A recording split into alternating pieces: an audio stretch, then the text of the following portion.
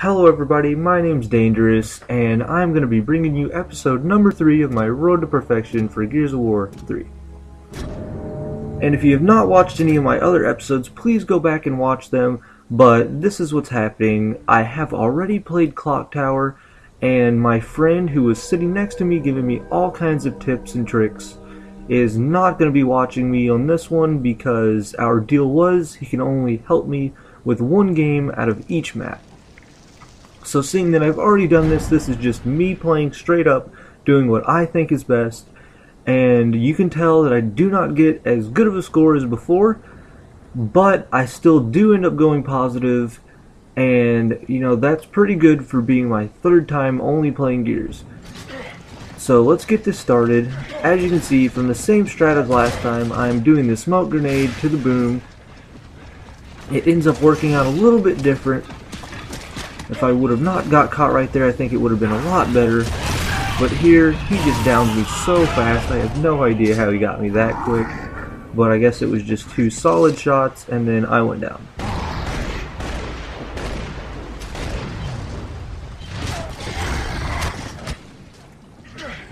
On the respawn again, I decide not to go for the boom, knowing that he has the boom and there's no point to it now.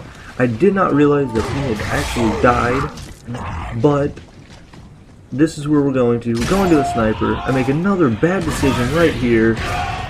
Again, I am still learning the map, and it did not help that I was just a little bit too tired to be playing this game. I should have stopped, and that is not a good thing to play when you are tired because it messes your thought process up. Overall, I do not feel this game was a setback, but you have to be really careful when you play when you're tired because you can, especially if you're new, end up doing something so wrong that it just it feels like you should have done it and you just mess it up. So it it just it gets into a bad habit and you don't want to be in bad habits, especially when you're trying to get the outcome that I am trying to get, which is be a top player. Right there is a key example of really good communication on my part I made sure my teammates knew that that guy was flanking from behind and I had a teammate right there just to shoot him and he was surprised instead of us.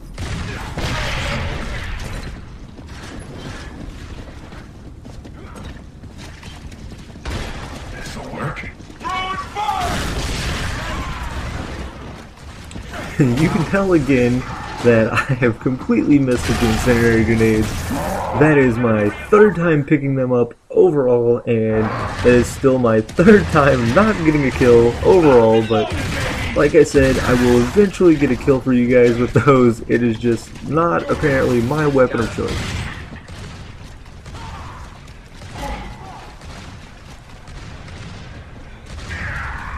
And here I see my teammate had the boom, and I figure he is probably out by now, seeing that he is not using it, so I run back up, knowing it's on respawn, and I pick it up and I start to use it for my advantage.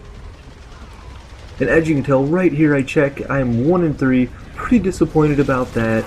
Um, I have not been negative in this series other than right now, and that kind of got on my nerves because I want to bring you guys the best footage from a newcomer's perspective as I can.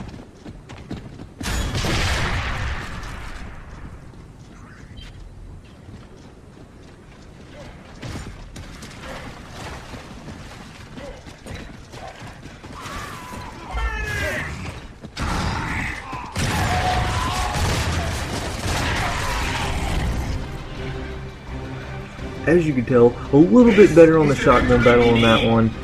I seem to hit more shots than I have, so at least that's progressing, and, you know, that's all we can really ask for is a little bit of progression. I don't want to go up way too fast, so the series is way too short, and I honestly do not think I will get there fast enough, so this will be a really long series, and it should be very entertaining. Right here, this is exactly what I wanted to do, but man, I just end up missing him. I think he should have went down in my perspective, but he just seems to be taking so many shots. And as you will find out, it is the dude that killed me in the very beginning.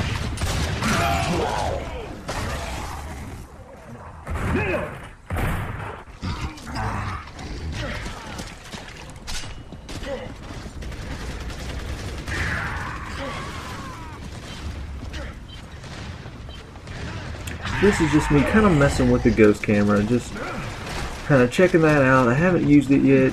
I haven't really died that much other than this game, so it, you know, it gave me a perspective kind of be able to tell where my friends need their support at and stuff like that. Right there, I should have not pushed that. I seen the guy down in the ball talk. I should have not pushed it and not let him 2 on 1 me. But again, that is just a minor mistake just due to lack of experience.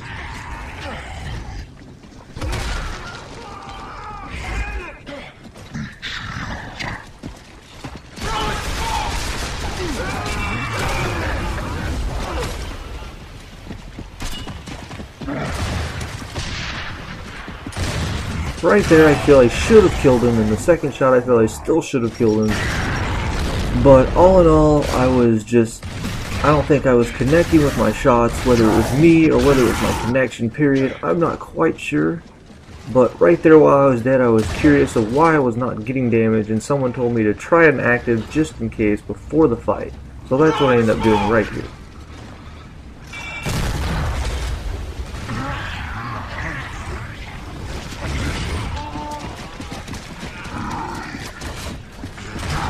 As you can tell, your actives are just ridiculous. I one-shot down that guy from so far away.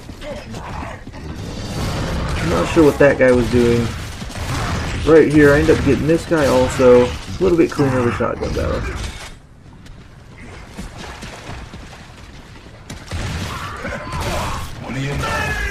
Right here, I try to pick him up a little. As you can see, just barely, I pick up the ammo on accident. And right there, I almost stole that kill, but I looked away in a split second. I did not know he was down in time. Once again, I was tired, so, you know, that kind of came in effect. And as you see, after going 4 and 3 the first round, I ended up going 8 and 6. It is not 11 and 2, it is not 11 and 5, but I promised you guys I will give you all the footage for this. So there you go, me only going positive 2 on my third game ever, but it's still positive. I still won and we still skunked them, so that's okay with me. Um, please go back and watch my other episodes. I will put some links in the description. I will put some links into this video near the end, so please go back and watch that, and I will talk to you guys in episode 4, which is coming really soon.